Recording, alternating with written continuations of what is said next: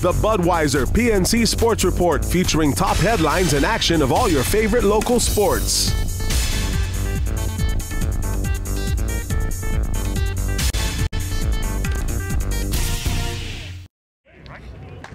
With the Braves seated number one for the playoffs, it looks like they should be the team to beat.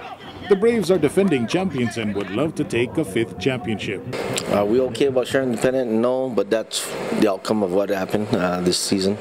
Um, it's an experience, a learning experience again for the guys, regardless of the veteranship that we have in our team. Uh, it's never good to, uh, you know, share something like that, that prestigious. But uh, be as it may, it's done, and we have to focus on the championship, and that is taking one game at a time.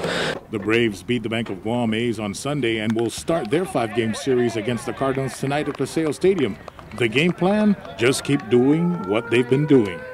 uh, game plan. Well, uh, preparation, pitching wise, of course, I'm looking at uh, John Pangilinan being our starter, and then we'll go from there. Uh, defensively, they all know what to do.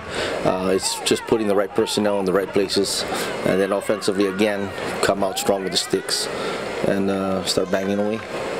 For PNC Sports, I'm Jerry Cruz. The PNC Sports Report was brought to you by Budweiser. Grab some buds.